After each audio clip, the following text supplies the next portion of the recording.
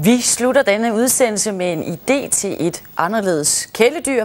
I en landsby i Kambodja bor en familie trygt med en 7 meter lang øh, pythonslange.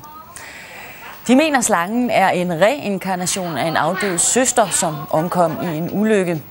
Da drengen Ungt Sambab lå i sin vugge, kravlede slangen op til ham. Ja, og så har de været venner lige siden. Han siger, at han ikke vil giftes, når han bliver stor, men han vil hellere vise sit liv til sin søster, som han altså kalder slangen.